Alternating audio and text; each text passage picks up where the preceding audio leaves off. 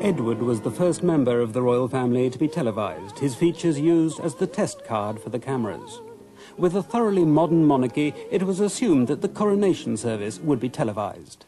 King Edward VIII was extraordinarily interested in communicating, and he saw at once that through the radio and afterwards perhaps television, this would be his best method of communicating with the people. He wanted to be the people's king. But a crowned king he was never to be. While Fleet Street was erupting with the sensation of the abdication crisis, there was no hint of it from the BBC.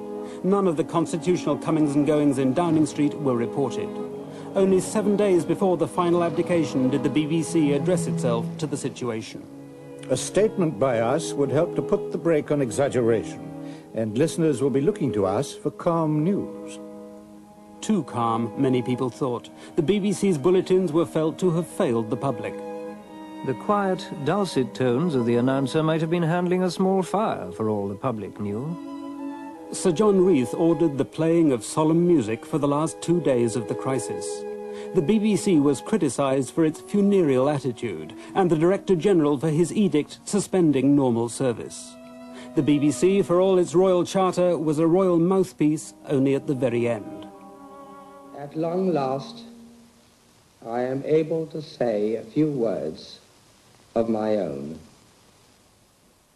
He actually chose to make his famous abdication speech on the radio, whereas other monarchs might well have been satisfied with signing the documents, and that was that. And as a matter of fact, Edward VIII really wanted to go much further in using the radio. He wanted to make a speech uh, before the abdication was decided and put his case against the cabinet case. He was egged on by Mrs. Simpson, as she was then, and she, I think, would have encouraged him to be what you might call a radio or television monarch if they'd retained the throne and if he had married her. Television prepared for the coronation. Same date, different king, said George VI. But not, it seemed, the same broadcasting arrangements. The question of television came before the meeting of the Coronation Joint Committee. They concluded that it would be undesirable to grant facilities for the setting up in the Abbey of any apparatus for this purpose. Television had to wait outside just like everyone else. Three brand new cameras were set up at Hyde Park Corner. No one was sure they would work on the day, least of all the BBC. We knew that if we flop at this, we're sunk.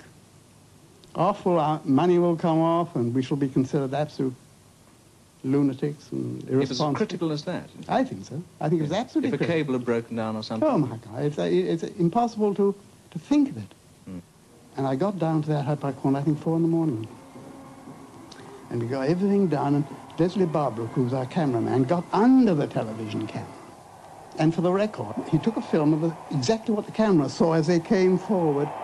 Those eight magnificent greys drawing on that almost unbelievable state coach with their majesties, the king and queen.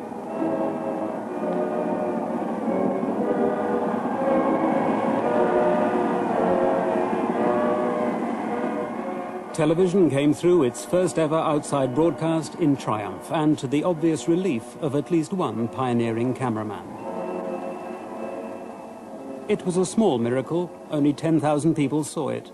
25 million tuned to the radio and the vivid word pictures of Tommy Woodrooffe. and this incredible, marvelous, coruscating, scintillating coach. And inside it, I can see through now, they've got the light on because it's a dark day, they've got an electric light on inside. I can see the king and queen, and they, they look incredible. They look like something out of a picture book. You can't believe it. It makes us all feel that we're seven years old again. I'll never forget, the very first big broadcast I had to do was with Tommy Woodrooffe on the return procession after the coronation, and we were in the commentary box on Constitution Hill.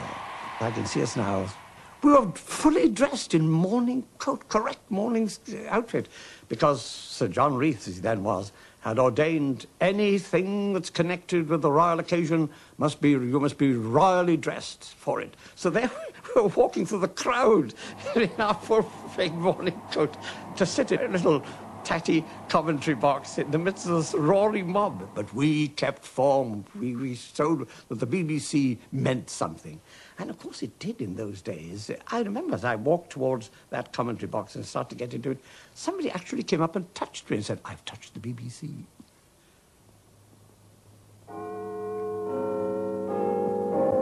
But politics soon cast a drizzle over the enthusiasm. From the Labour benches, Clement Attlee told the House of Commons that the BBC and the press had got the whole business out of proportion. Of late years, I think there has been far too much boosting of royalty in the press and on the wireless. A reasonable pageantry now and again, well and good, but what we have had has been a fulsome adulation, the vulgar snobbery of a large section of the press, and there has been a more refined civility in other organs of the press and in the BBC. It is undesirable that the public should be indoctrinated with an entirely false idea of the importance of the throne. Despite that, the public appetite for royal events was insatiable. For the BBC, the royals were royal box office. But the more the BBC pushed at the palace, the more the palace pulled back. Any chance of His Majesty being willing to broadcast a short message? His Majesty does not wish to undertake any regional broadcasts this year. I fear there's no chance of His Majesty broadcasting on the evening of Sunday, July the 2nd. the, King has made a good many speeches on the air, and I think it's time that we drew in our horns a bit. A day in the life of the King does not appeal to His Majesty. We do not consider it desirable to have too frequent broadcasts of His Majesty's speeches and thereby cheapen the significance of such occasions. Neville Chamberlain's return from Munich and his meeting with Hitler was televised, but soon brought a frostiness between the palace and the corporation. The King's message of national thanksgiving was conveyed to the news agencies who supplied the national press. But the BBC was specifically excluded. The message was not to be broadcast. It could only be carried in print.